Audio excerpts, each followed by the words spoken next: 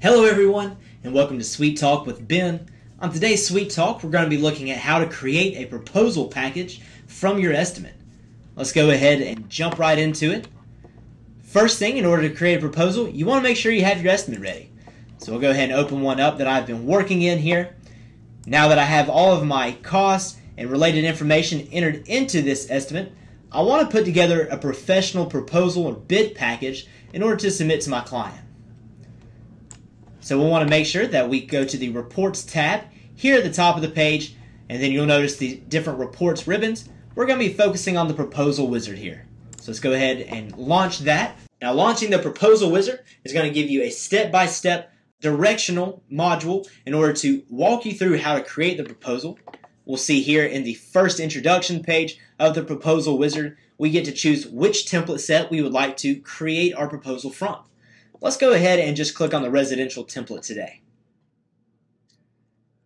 As we proceed through it, we'll see that it all of our contact information and project information from the project details that we entered in when we first created the project populates here as well. And this information will be pulled directly into the proposal, saving you a lot of time. We also provide you with three basic layouts, uh, depending on which form of proposals you, you generally like to use. You get to choose any one of those, and we've also provided you with three different custom templates that you can tailor and make your own as well. So we're just going to stick with the basic general template here. We'll click Next. We could go ahead and enter in any scope of work or special conditions here. And these as well will also populate within the proposal. Same goes for our base price information here. We have a few more options as to how we actually want to present that base price information and how it relates to the markups. If we want to include any dimensions within the proposal, and then how we want to present our project totals information. So in the project totals portion of the proposal wizard, you see we have a few options as to how we would like to present our company overhead margin, for instance. Uh, you can include it as a separate line item, or you can go ahead and prorate that into the different categories. Uh, that'll evenly allocate that amount throughout the other items and categories that you have within the proposal.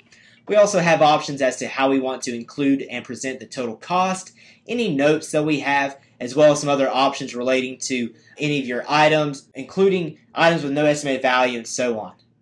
After this, we'll just go ahead and click Finish here to generate that proposal.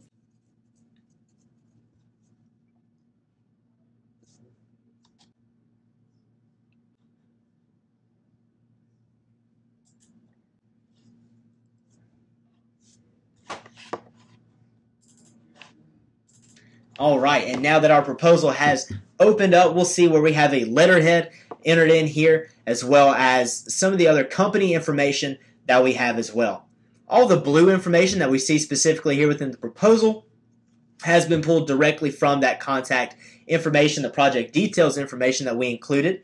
Now, just like other Word documents and other contracts within ConstructionSuite, if you want to make some changes here, you certainly can. So if we wanted to eliminate some of the spacing here, you do have that option as well. You can change the font color, any bolding, anything like that. We see here where more of our contact information for Alice Gorey, uh, for our client, as well as our company information, all that appears here as well, as in addition to the scope of work, special conditions, and that base price information.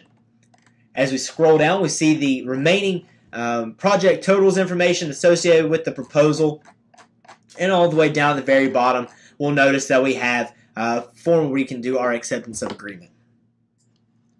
As always, you certainly can feel free to tailor this to meet your specific need, include and append any other contracts, documents, anything that you need like that. Everything uh, that you need is readily available to you in order to present a professional looking proposal package to your client in just a matter of seconds. So that concludes today's SuiteTalk. If you like what you see, I encourage you to take a look at our other videos that we have available to you. And as always, I'm Ben. Thanks for tuning in and have a great day.